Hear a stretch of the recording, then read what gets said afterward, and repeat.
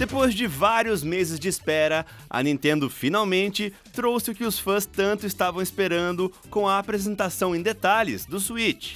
É claro que, além de nos falar sobre o console, a empresa também trouxe uma tonelada de jogos, com direito aos já esperados Mario e Zelda e muitos outros projetos novinhos em folha. Mas e quanto aos outros games da Nintendo que ainda não foram anunciados? Pensando nisso, o Tecmundo Games criou uma lista com algumas das séries mais famosas que simplesmente não podem ficar de fora do novo console.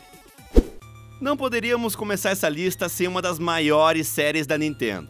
Por mais que seja uma franquia aclamadíssima no mundo todo, Samus Aran aparentemente foi esquecida pela empresa, mesmo com os fãs clamando por mais um capítulo da aventura da caçadora de recompensas. Por isso, seja na forma de um novo Metroid Prime ou mesmo com uma abordagem completamente nova, tudo o que nós queremos é mais uma chance de caçar piratas espaciais, explorar ambientes hostis e fazer muito backtracking. Outro jogo que simplesmente não pode ficar de fora do Switch é o bom e velho Donkey Kong.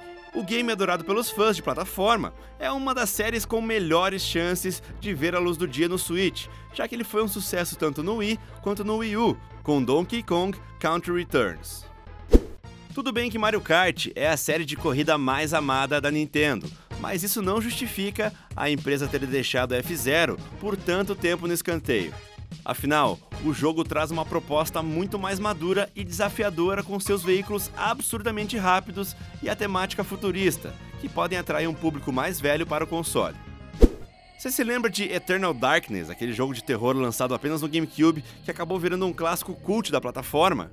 Pois é, quase 15 anos se passaram e os fãs da franquia ainda torcem que a série ganhe uma continuação. Tudo bem que é difícil imaginar a Nintendo apostando em um game com uma temática tão obscura hoje em dia, mas não custa nada sonhar um pouquinho, né?